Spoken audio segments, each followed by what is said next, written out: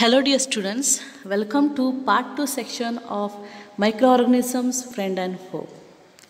Hope you understood part 1 video. So let us study, uh, let us continue to study microorganisms friend and foe. So today I would like to show you the picture where we can see how virus attack a bacterial cell. So in the first video I told that virus attacks plants, animals and bacteria. So today I would like to, like to show how virus attacks a bacteria. So in this picture you can see you can see a bacterial cell. It is a bacterial cell and you can see the pink color is the genetic material of bacteria. Genetic uh, material means DNA which is inside the nucleus so here they have shown the DNA of the bacterial cell and can you see the virus that is sitting on the top of the bacteria, bacterial cell and that it is called, that virus is called bacteriophage. So the virus that infects a bacteria it is called bacteriophage and as soon as the uh, virus enters the bacterial cell in the second uh, so picture you can see the bacteria, the virus DNA, the green color virus DNA is introduced inside the bacterial cell. And you can see that the, when you see the next diagram you cannot see any bacteria bacterial DNA that is pink color is not available here because this virus DNA has completely destroyed the bacterial DNA and you can see that the virus DNA is multiplied here or replicated. It is called replicated not okay for virus we will say replicated for multiplication. So virus DNA is uh, replicated here. And also so you can see the outer outer body of the virus that is uh, a protein. It is also formed. It is also formed. And you can see that many viruses. So earlier you can see only one virus.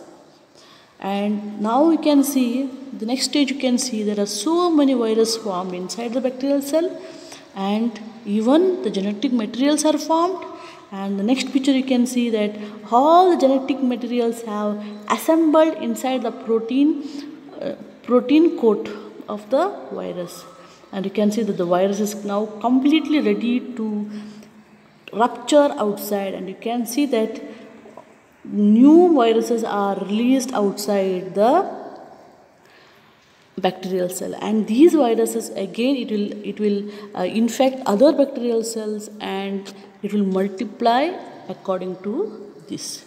This is how a virus is uh, infecting or affecting a bacterial cell so it will destroy the host DNA and it will multiply or replicate its DNA and it forms the protein, it assembles and now you can see the new viruses are formed. And last video we also learned about microorganisms as friend. Uh, the two points were told about making curd from milk and making bread. Both was with the help of microorganisms called lactobacillus and making of the bread was uh, by uh, microorganisms called yeast. So today we will learn about the commercial use of microorganism. What are the commercial use of microorganism? Commercial uh, use means commercial means production of some materials in large quantity. So even microorganisms are used for large scale production of alcohol, vinegar and wine. Microorganisms are used for the large scale production of alcohol, wine and acetic acid. So acetic acid means vinegar. Vinegar is the is the is an acid, mild acid uh, which we were used last year for our laboratory. So yeast is used for commercial production of alcohol and wine. For this purpose, yeast is grown on natural sugars present in grains like barley, wheat, rice, crushed fruit juices, etc. So, how can yeast? So, the, the very the same yeast which was used to uh, make bread The same yeast is used here also to prepare all type of alcohol, wine, acetic acid, all these things. And how it is so? It is because yeast is having a very uh, it is having a property of undergoing anaerobic respiration. It is having a characteristics of undergoing anaerobic respiration which we have studied last year. So this today I want to show the picture. Can you see here the same picture we have learned last year. So can you see the fruit juice or grain? This, this is nothing but sugar that is glucose. This fruit juice or grain contains sugar because grain it is uh, it what is present in the grain? Carbohydrate. And what is the final product of carbohydrate? That is sugar. So here glucose is present in fruit juice and grain. And what we are doing is we are letting this yeast to undergo anaerobic respiration. And this anaerobic respiration means the respiration where oxygen is not involved. So yeast is undergoing anaerobic respiration without oxygen and it is also called as fermentation. What is fermentation? We will study it. So with the help of yeast this glucose is converted into ethanol or and carbon dioxide. So last year we told that yeast undergoes anaerobic respiration and alcohol is produced carbon dioxide is produced. And here we have giving uh, the name for the alcohol that is ethanol. And this alcohol is used as alcoholic drink. So this yeast is having the property of converting sugar into uh, sugar or that is glucose into alcohol. And that process of converting sugar into alcohol is called fermentation. So understood so the process of converting sugar into alcohol is called fermentation. So you can see that uh, here alcohol is produced and in the alcohol you can see uh, even carbon dioxide is also produced. So this carbon dioxide we have told that in the process of baking of bread and all this is what how this is how the carbon dioxide is evolved during anaerobic respiration. So this is how yeast is used in the production, process of producing alcohol, then wine and also acetic acid. So we can read once again. Microorganisms are used for large scale production of alcohol. Large now it is used for large scale. We want in large scale for commercial use for selling for to a large amount of people. So microorganisms are used for the large scale production of alcohol wine and acetic acid. Yeast is used for the commercial production of alcohol and wine. For this purpose, yeast is grown on natural sugars present in grains like barley, wheat, rice and crushed juice, fruit juices. The process of conversion of sugar into alcohol is known as fermentation. And who discovered it? Louis uh, Pasteur discovered fermentation in 1857. Okay, understood? Next, this already I told. Next is medicinal use of microorganism. So we are studying third use of microorganism that is medicinal use of microorganisms. See here even microorganisms are used for the production of medicines. So it is really uh, surprising to hear this. Yes. See first point whenever you fall ill the doctor may give you some antibiotic tablets, capsules or injections such as penicillin. So whenever you fall ill, for example, if you have any bacterial problem, if any bacteria, ah, harmful bacteria has infected your, your body, so if, whenever you fall sick because of that, so the time the doctor may give you some antibiotic, ca antibiotic capsules, tablet or injections. And what is this antibiotic medicine made up of? The source of these medicine is microorganism. Such medicines are called antibiotics. So the medicines that are prepared from these microorganisms, they are called antibiotics.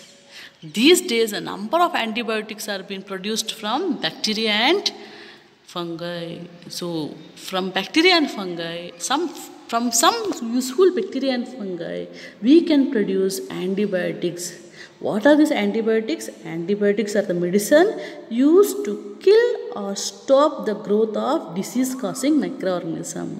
Yes, from microorganisms like bacteria and fungi, we can prepare medicine to kill other other micro other harmful microorganisms such as fungi or bacteria.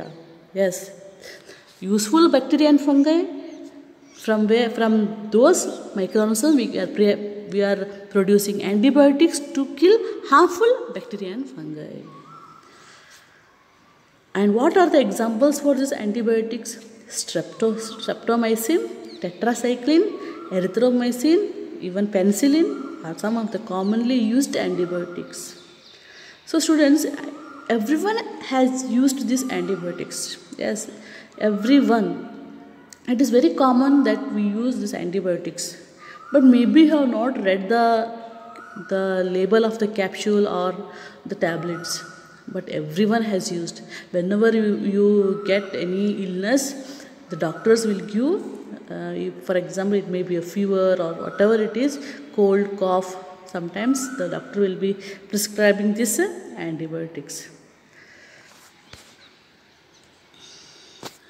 Precautions while administering antibiotics so even this topic is given in your test to uh, make you aware about the precautions that we have to take while taking the antibiotics. It is very important. Why it is very important, we will read. It is important to remember that antibiotics should be taken only on the advice of qualified doctor. Yes, with the advice of qualified doctors, with the, only with doctor's prescription, we have to take this antibiotics. And also, you must finish the course prescribed by the doctor. If you take antibiotics when not needed or in wrong doses, it may make the drug less effective when you might need it in the future. Yes, this antibiotic drug should be taken very carefully. So whenever we go to the hospital, to, uh, whenever a doctor is prescribing for antibiotics, he will surely he will say that you have to complete this tablet within three days or five days because uh, it will it will be a course. Antibiotic intake of antibiotic is like a course. It will be 5 day course. Sometimes he may tell that daily one one antibiotic should be taken or daily two antibiotics should be taken. Like that it will be a course. For example he may give you 10 tablets and he may tell that uh, daily you have to take two. So 5 days you have to take two two so so there will be a course given. Sometimes when we take these antibiotics for one two days, you feel that you are fully uh, clear or you are free from the illness. And we will fail to take the other tablets. So that is wrong. So whenever a doctor is prescribing for an antibiotic course we have to complete the course. Otherwise it will it will infect our body. It will it will cause harm why? Because if when the in the next time when you are again sick when the you cannot take the same antibiotics again because our body will show less uh, response because you had not take the previous time antibiotics properly. So that is why they are telling that you must also you must finish the course prescribed by the doctor if you take antibiotics when not needed or in wrong doses it may make the drug less effective so when it is less effective, when you might need it in the future. In the future, you cannot take again this and same antibiotics. Again, the doctor has to prescribe the antibiotic which is having more dose. So and again, the, so if you neglect again and again, if you neglect taking the antibiotic properly, the doctor has to prescribe the antibiotic in more doses. Okay you have to take high dose antibiotic again and again that will affect your body. How will affect it how it is affecting our bodies? Here next point. Also antibiotics taken unnecessarily unnecessarily or in wrong doses may kill the beneficial bacteria in the body so even high dose of antibiotic is how it is very harmful because it will also kill the beneficial bacteria in the body I already told that in our body also there are so many bacteria which is useful like E. coli. That E. coli bacteria will be always improving our, uh, it is present in the large intestine. It will be improving our uh, intestinal environment or it is helpful in many ways. So if that bacteria is not there, that the person may be uh, will be prone to ulcers, intestinal ulcers. So that is what we are telling that these antibiotic doses may also kill the useful bacteria instead of killing harmful bacteria. Antibiotics, however, are not effective against cold and flu as they are caused by viruses. Some cold and flu are caused by viruses. If you take these antibiotics, antibiotics only kill bacteria and fungi, not uh, viruses. Next is penicillin. Penicillin is a antibiotic. It was the penicillin is the first antibiotic discovered by a scientist called Alexander Fleming. We will read. In 1929, Alexander Fleming was working on a culture of disease causing bacteria. Suddenly, he found the spores of a little green mold in one of the culture of his culture plates. So, once uh, the uh, Alexander Fleming was working on a disease causing bacteria, so, and while working in a uh, petri dish or in a culture plate, what is found is suddenly found a spores of little green mold. Green mold means it is a fungi. He saw some fungi growing in the in his culturing plate. Culturing plate means the plate where the scientist was growing the bacteria. It is called culturing plate. He was growing this harmful bacteria for some other experiment. But uh, fortunately, one day he found that uh, there was a green color of fungi growing in that plate. Then what happened? See, he observed that he observed that the presence of mold prevented the growth of bacteria. So he saw that in the culture plate that green fungi it killed all the or it killed all the fungi uh, all the harmful bacteria which was near to it which was surrounding it. So he was very surprised. See in fact it also killed many of these bacteria. So he came to know that this fung, uh, fungi that is green mold it killed all the bacteria that was surrounding the uh, surrounding its area. So scientists understood that this, this fungi can kill the harmful bacteria. Then he began to culture this fungi and uh, it, he, uh, he cultured this green fungi and prepared antibiotics which can kill the harmful bacteria. This is, this is how the penicillin was discovered. And the first scientist to discover penicillin is Alexander Fleming. Next is vaccine. See, vaccine is very important. You all know that because nowadays people are, uh, all, every country, every nation, they are trying to prepare a vaccine for COVID 19. So, what is this vaccine actually? How it is work? See here, when a disease carrying microbe enter our body, the body produces antibody, antibodies to fight the invader. So, this is how what happens is whenever a disease causing microorganism, any microorganism, whenever it enters our body, our body will be having some special power that is called immunity power. So, that power is what is this immunity? Is our body can produce something which, which can fight against the intruder. So any foreign particle when it enters our body, our body will produce a, uh, antibody. It is called antibodies. Understood? Antibodies. Antibodies means it is a chemical that fights against the foreign particles or for or other harmful mic- microorganisms that is entering our body. So antibodies are produced in our body. So, the body also remembers how to fight the microbe if it enters again. For example, think that uh, think that virus has come inside our body, okay, and the our body has prepared an antibody, and now our body has prepared this antibody and fought against this harmful virus, and the virus got killed. And our body will remember how what type of antibody was used to kill that virus so once again i'm telling whenever a foreign particle or for or a virus for example virus I, I told about virus is entering our body our body is producing an antibody. And also think that our that antibody has killed the virus. When it killed the virus our body will remember what antibody was used to kill the virus.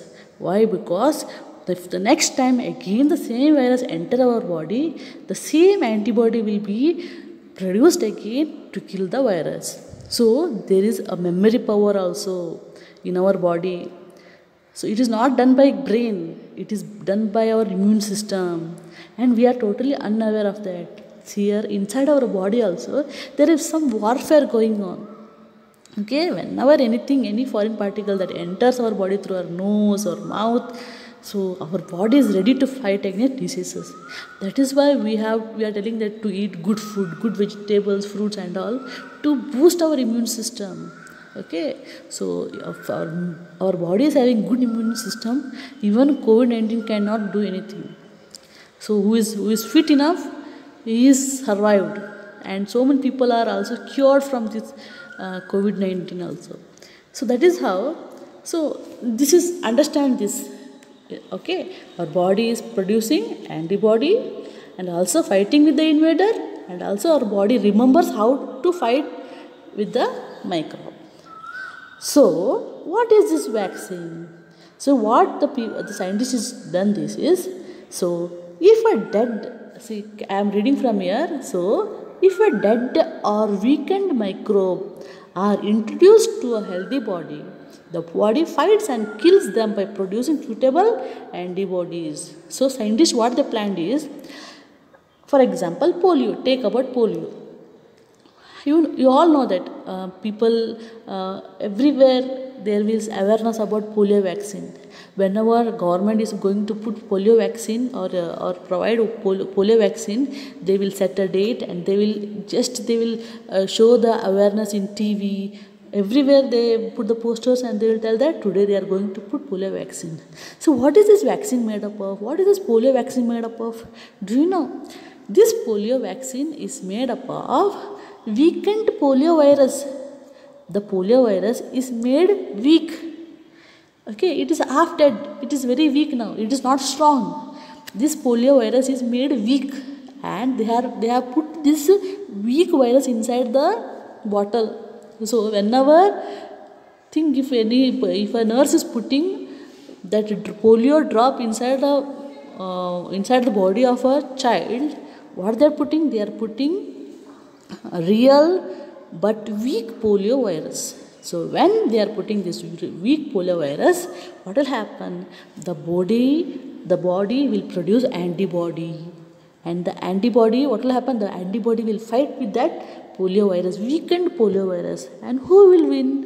Definitely our antibody will win because the virus was weak. And our body will remember what type of antibody was prepared. And also you have to remember that there is so many trial trials will be taken. Trial and error will be there. Means what? Whenever uh, whenever this when this polio virus entered our body our bodies uh, it introduced so many antibodies.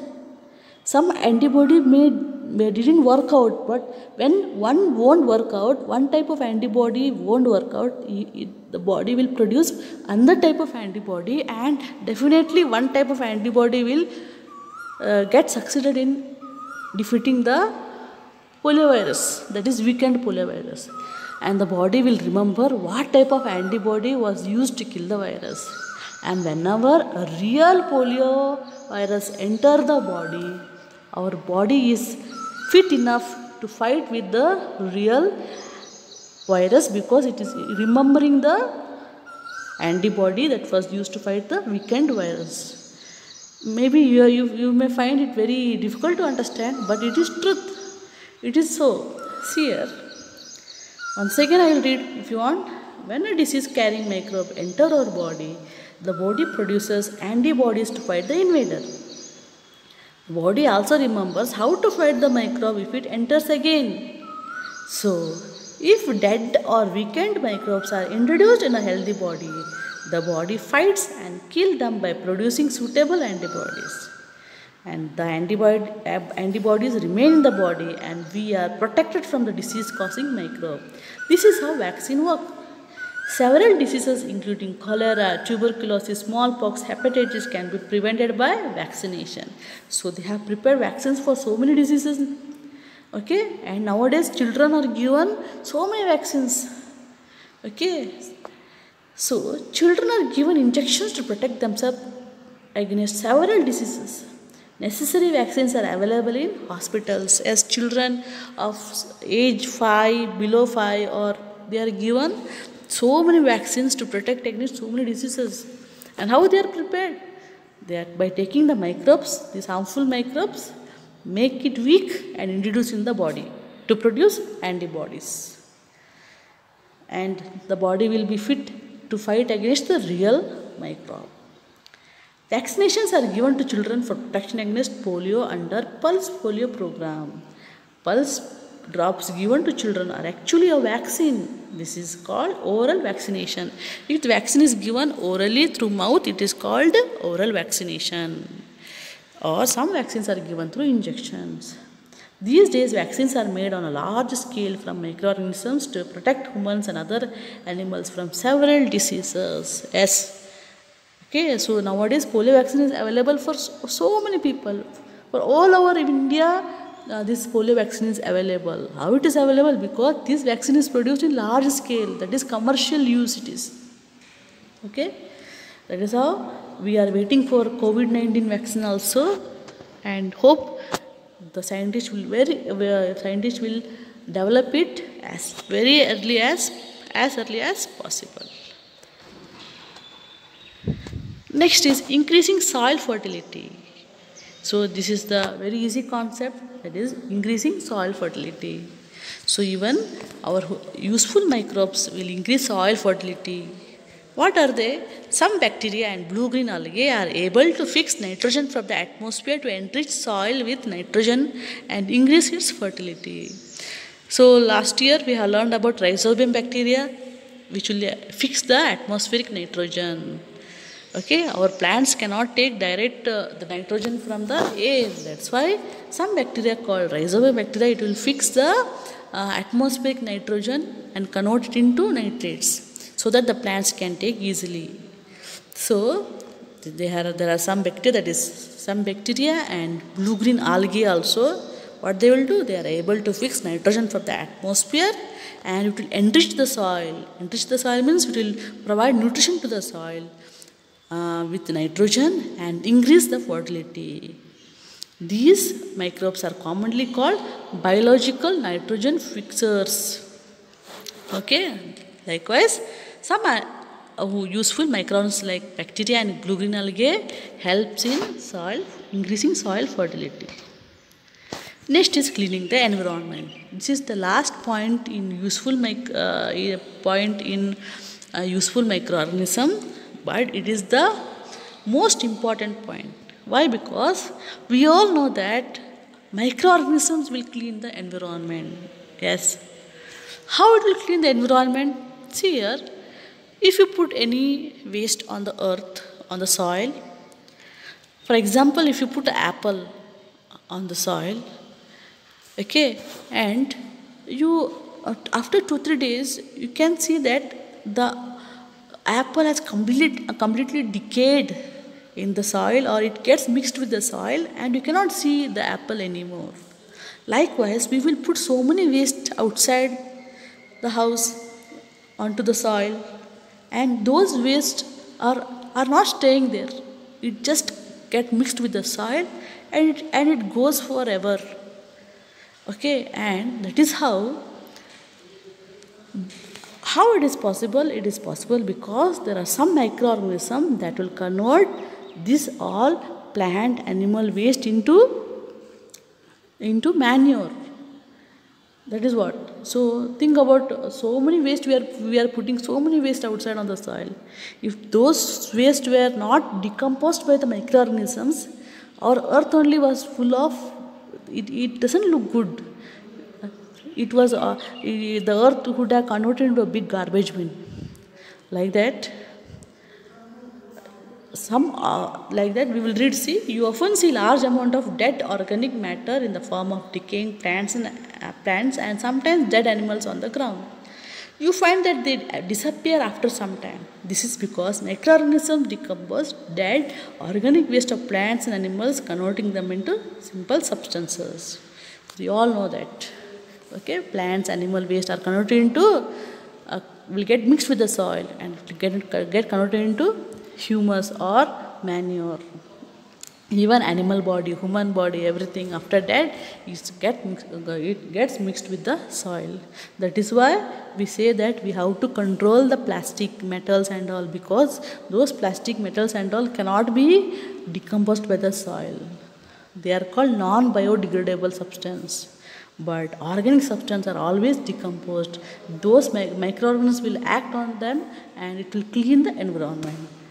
These substances are again used by other plants and animal and again all the waste will get mixed with the soil. And again new plants will use this all uh, nutrition and and it is recycled again the new plant die and again it get mixed with the soil and the other new plant will take all the nutrition so it is recycling of waste in the environment and it is done by microorganism these substances are again used by other plants and animals. Thus, microorganisms can, microorganisms can be used to degrade harmful and smelly substance and thereby clean up the environment. Yes, otherwise, if this was this process was not there on the earth, the earth would have been converted into a big garbage bin and also it was so smelly or it, it would re release so foul smell but it is not there because of our useful microorganisms which are cleaning our environment. So this was all about useful microorganisms. So understood how microorganisms are useful to us. It is useful to us in so many ways.